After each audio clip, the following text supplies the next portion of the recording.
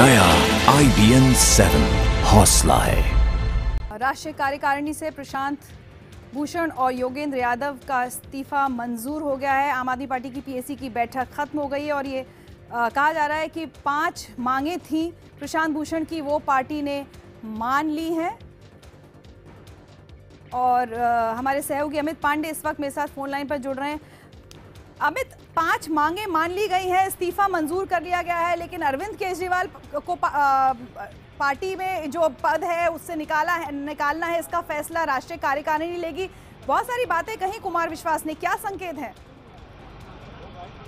देखिए हम इसको अगर हम और थोड़ा सुधार करना चाहें कि जो पाँच मांगे हैं वो पाँच मांगे इन्होंने जो सत्रह तारीख को रखी थी वो पाँच मांगे मान ली गई हैं। और इस्तीफा जहाँ तक उनका मंजूर करने का सवाल है इस पर स्थिति थोड़ी देर में साफ़ होगी। और अरविंद केजरीवाल के जहाँ तक का जो इस्तीफा है वो उस उस पर स्थिति 28 तारीख को साफ़ होगी जो राष्ट्रीय परिषद की जो बैठक है। हम कुछ यहाँ पर मूवमेंट हम देख रहे हैं शायद कुछ और नेता यहाँ पर वो है।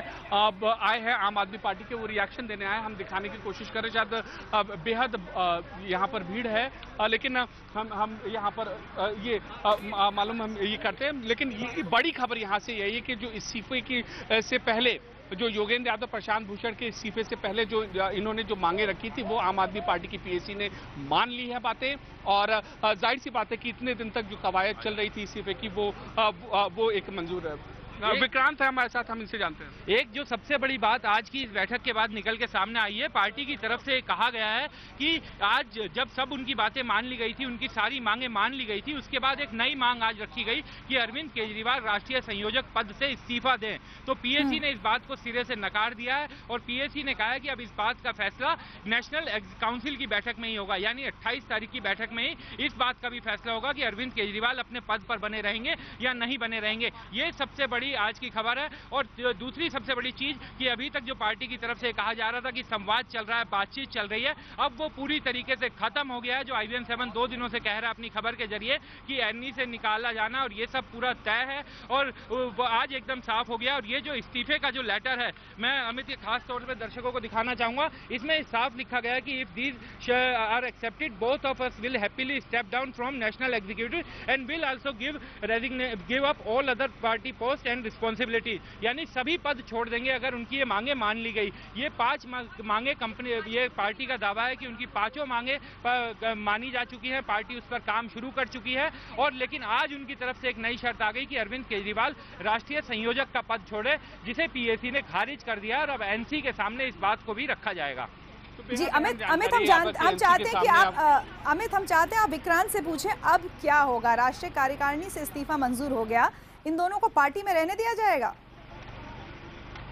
क्या अब इन दोनों को पार्टी में रहने दिया जाएगा विक्रांत, अगर इस इतना सब कुछ होने के बाद? देखिए, अमित जिस तरीके से ये जो साफ़ देखने में आ रहा है, अब संवाद किसी तरह का नहीं है। अब सीधा जो नेशनल एग्जीक्यूटिव से निकाले जाने की खबर थी, वो एकदम पुख्ता है। अब सबसे बड़ा सवाल यही है कि क्या ये पार्टी में रहेंगे या नहीं रहेंगे? इस बात पर भी बहुत ज़्यादा शक और शुभा है कि वो पार्टी में रह पाएँगे, क्योंकि बात इतनी ज़्यादा आगे बढ़ चुकी है कि जो इस्तीफे का जो लेटर, ये लेटर जब हमने सत्रह तारीख को चलाया था तो दोनों पक्षों की तरफ़ से कहा गया था कोई इसे कन्फर्म नहीं कर रहा था और ये कह रहे थे कि ऐसा कोई लेटर सामने नहीं आया है। लेकिन आज ये लेटर सामने आया है और उस समय प्रशांत भूषण और योगेंद्र यादव भी ये कह रहे थे कि ऐसा कोई पत्र नहीं लिखा गया। इतना सब होने के बाद इतनी संवादहीनता होने के बाद और इतनी कड़वाहट होने के बाद अब एक साथ काम कर पाना बेहद ही नामुमकिन है और एनी में रह पाना तो मुश्किल लग ही रहा है। पार्टी में बचे रहना भी कोई आसान काम नहीं होगा।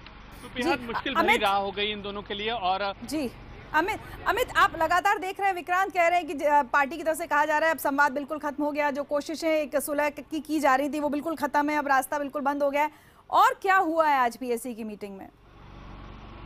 देखिए, बेहद संक्षिप्त बैठक थी। यहाँ पर करीब 10 से 15 मिनट की ये पूरी की पूरी बैठक थी और उसके बाद यहाँ पर आए तो जो योगेंद्र यादव, प्रशांत भूषण ने अपनी जो मांग रखी थी, उनको यहाँ पर पीएससी ने मान ली है और अब आज उनके मुताबिक, पार्टी के मुताबिक एक नई मांग जो रखी थी, बेहद जो ये चौंकाने वाली मांग थी कि अरविंद केजरीवाल भी इस्तीफा दे संयोजक के पद से। तो इसको तो उन्होंने टाल दिया, लेकिन आज इन्होंने पार्टी ने यह संकेत दे दिया कि हमने आपकी सारी मांगे मान ली है सब कुछ कर लिया और अब आपको इस्तीफा देना ही होगा। यानी अब जो भी इनकी समझौते की बात थी या गुंजाइश सब खत्म हो गई है और अब इस बात पर भी संशय की पार्टी में बने रहेंगे या नहीं? कौन कौन मौजूद था आज की बैठक में, अमित?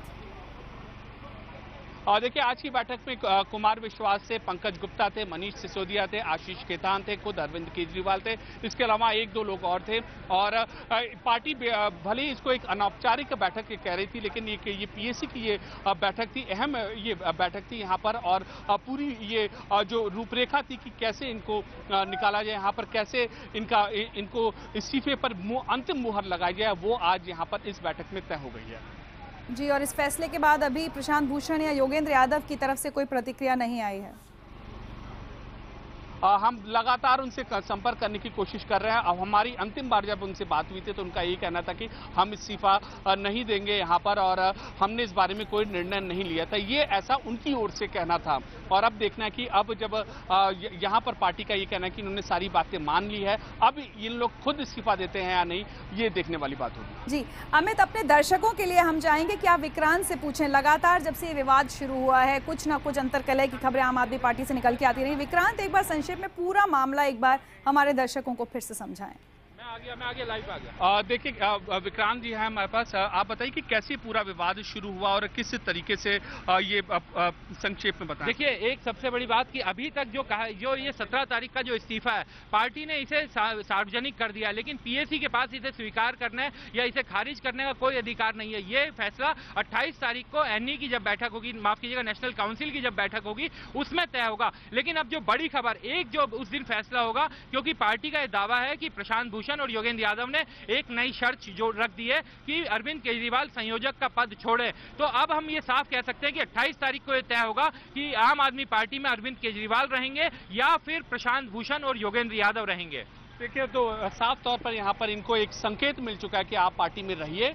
रहिए तो उन्हीं के केजरीवाल के मन से नहीं तो आप चले जाइए। अमित अमित एक बार विक्रांत से एक बार हम फिर से पूछना चाहेंगे।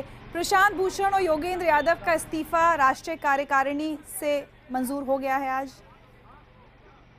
क्या राष्ट्रीय कार्यकारिणी से ये पूरा का पूरा इस्तीफा मंजूर हो गया है या नहीं? देखिए, राष्ट्रीय कार्यकारिणी अभी ये जो इस्तीफा है सत्रह तारीख वाला, इस पर फैसला नहीं हुआ है। इस पर फैसला 28 तारीख को जो एनसी की बैठक होगी, उसी बैठक में फैसला होगा और ये भी फैसला होगा कि अरविंद केजरीवाल को जो हटाने की जो मांग की गई है, पार्टी से हटाने की जो मांग की गई है, प्रशांत भूषण और योगेंद्र यादव की तरफ़ से, उस पर एनसी का क्या कहना है और इस इस जो इस्तीफे का है, इस पर क्या कहना है? तो ये सब चीज़ें अब अट्ठाईस तारीख को ही तय होंगी।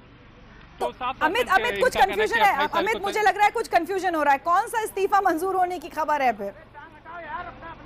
देखिए इस्तीफा मंजूर होने की खबर नहीं है। जो इस्तीफा इन्होंने इस्तीफे की जो पेशकश की थी वो चिट्ठी आम आदमी पार्टी ने उजागर की है पहली चीज़। और दूसरी चीज़ जो इस्तीफे में जो शर्तों की मांग की थी वो शर्तें आम आदमी पार्टी ने मान ली है। और तीसरी चीज़ की जो आज आम आदमी पार्टी के मुताबिक अरविंद केजरीवाल के जो इस्तीफे की पेशकश इन लोग ने की थी उसको 28 तारीख के अ, के दिन टाल दिया गया। ये तीन चीज़ें हैं और अब जो अरविंद केजरीवाल इस्तीफा देंगे या नहीं ये 28 तारीख को तय होगा। इनके इस- इनके इस्तीफे पर क्या फैसला होता है ये 28 तारीख को होगा लेकिन आज आम आदमी पार्टी की पीएससी की जो ये बैठक थी इन्होंने ये साफ़ कर दिया कि जो इन्होंने इस्तीफे की पेशकश की थी उसकी शर्तें इन लोगों ने मान ली। तो अमित मैं एक बार फिर अपने दर्शकों के लिए पूरी खबर बताऊँगी। अगर कहीं गलती हो तो आप ज़रूर मुझे रोकिएगा।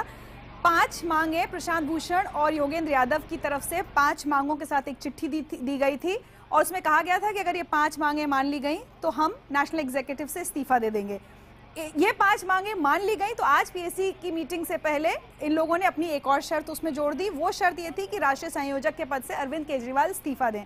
ये शर्त चूँकि आज पीएससी को लगा कि ये शर्त नहीं मानी जा सकती या पार्टी इस पर नहीं फैसला ले सकती इस पर नेशनल काउंसिल ही अ, फैसला ले सकता है। जिसकी बैठक 28 मार्च को होनी है तो ये फैसला तो यानी कि जो इस्तीफा देने की इन्होंने पेशकश की थी कि पाँच मांगे मानी जाए तो इस्तीफा देंगे तो एक छठी मांग रख दी है तो दोनों ही चीज़ों पर अब 28 मार्च के बाद फैसला होगा। सही कह रही हूँ? जी, बिल्कुल। यही यही आज इस बैठक के मायने थे और 28 तारीख को ही उस दिन साफ़ होगा कि अरविंद केजरीवाल यहाँ पर जो राष्ट्रीय परिषद की बैठक है, उसमें वो राष्ट्रीय कार्यकारिणी के अध्यक्ष रहेंगे या नहीं और दूसरा इनके इस्तीफे को पार्टी किस तरीके से लेती है, वो अब उस दिन भी ये साफ़ होगा। जी।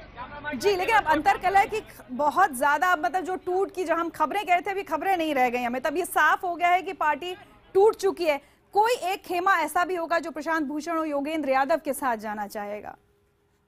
जी, बिल्कुल ये अंतर कलह थी और लगातार ऐसी खबरें आ रही थी कि ये लोग समर्थन जुटाने की कोशिश कर रहे हैं। योगेंद्र यादव, प्रशांत भूषण, हालाँकि प्रशांत भूषण, योगेंद्र यादव ने इस चीज़ को मना किया था।